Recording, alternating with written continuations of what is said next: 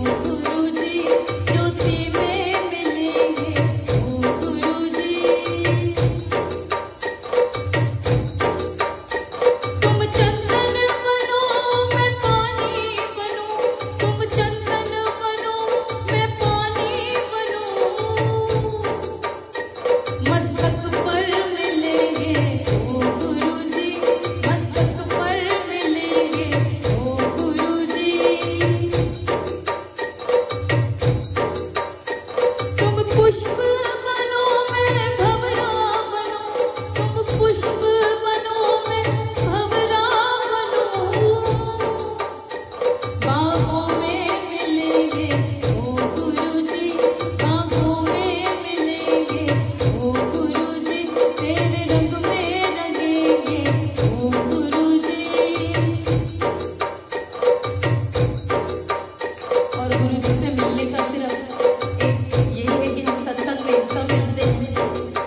और चाहते हैं कि गुरु जी इतना कहें कि हम सुनने लायक बन सके। तो इसीलिए इसने भजन लिखा है, उसके